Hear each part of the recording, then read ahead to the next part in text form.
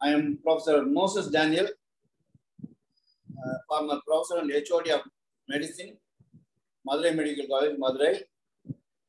Now practicing in Madurai.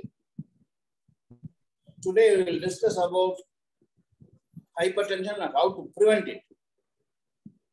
And uh, high blood pressure is a very common illness, and uh, hypertension is uh, prevalent in about 30 to 35% of the population.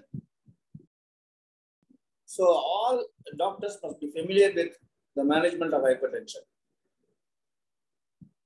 And when we consider hypertension, we treat hypertension if the BP is more than 140 by 90. And uh, there are many risk factors for developing hypertension. We have uh, obesity, diabetes, lack of physical exercise, smoking, high alcohol intake, stressful lifestyle. All these things can cause essential hypertension. Essential hypertension is the commonest form of hypertension in 90 to 95% of patients.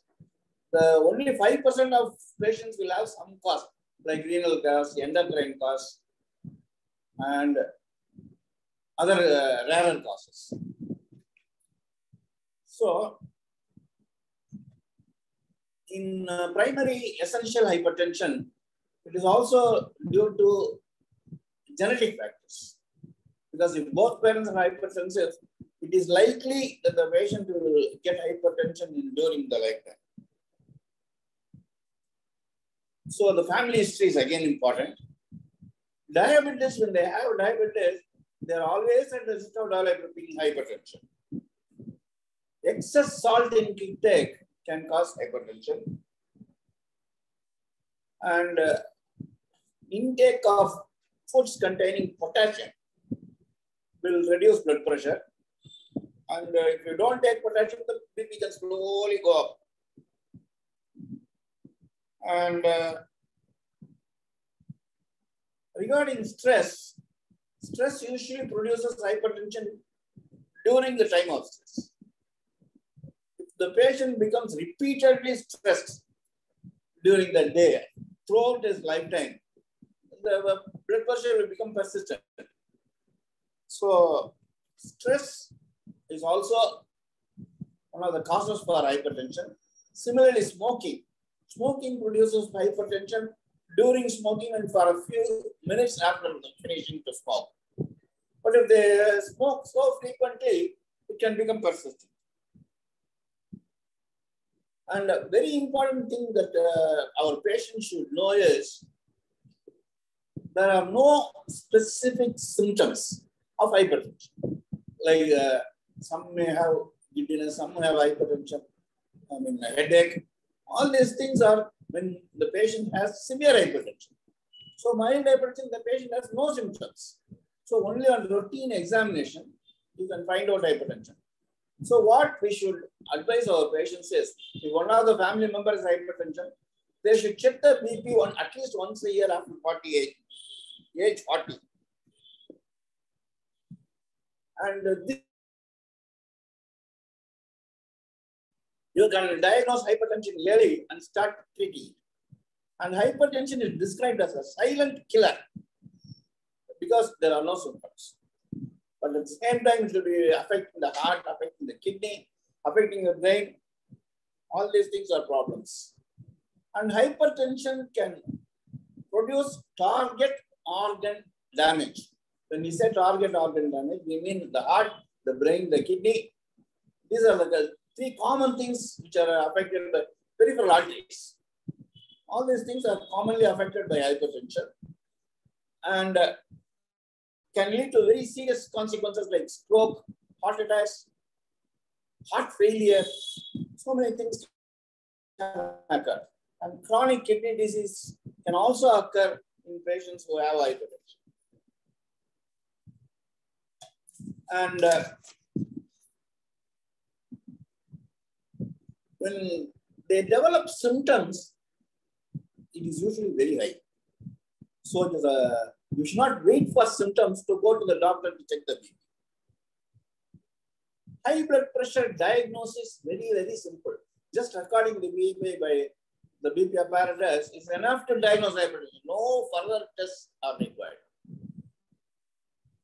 The tests are required only to assess the target organ damage, like kidney, brain, heart, like that we have to check. And uh, some patients may have cholesterol.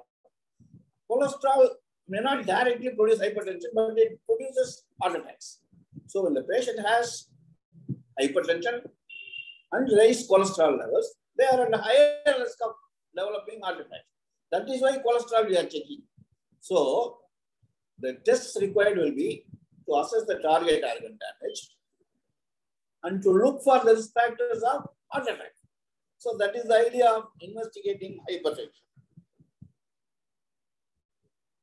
And the BP recording is very high. You can straight straight away start treatment like uh, 160 by 100 or 160 by 110.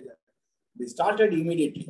If it is borderline high, we will uh, usually require three consecutive readings on three separate days to diagnose hypertension. When we talk of prevention, regular exercise is required, healthy diet is required. When I say healthy diet, it is taking more of fresh vegetables and fruits to increase the potassium content, quit smoking, reduce alcohol or stop alcohol, regular check of BP, stress management. For stress management, exercise is very useful. When you regularly exercise, your stress rarely requietens. And regular adherence to the hypertension drugs can keep the blood pressure under control. When we say regular exercise is at least 30 to 45 minutes of brisk walking, which will give the uh, increase the heart rate and also reduce the blood pressure. Regular exercise also helps in maintaining uh, ideal rates. Then healthy diet is uh, eating uh, less fats, less carbohydrates, less sodium, more potassium, no alcohol. That is a healthy diet.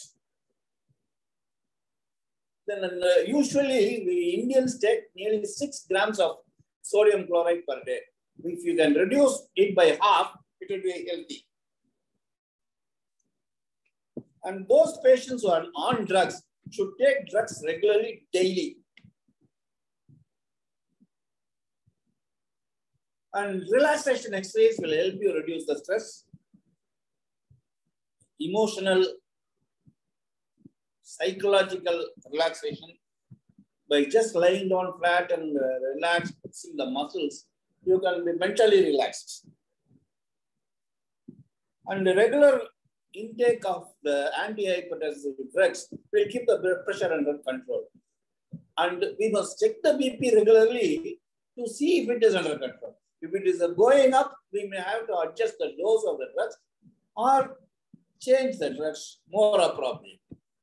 And most of the patients will require cholesterol lowering drugs when the patient has hypertension and the family history of heart disease. So if the patient has hypertension, if he has family history of heart disease, it is better to take a cholesterol lowering drug. So this way, you can keep the blood pressure under control or prevent it even. Sometimes you will be able to postpone it, but definitely you will be able to prevent the complications of hypertension if you follow these guidelines. Thank you very much.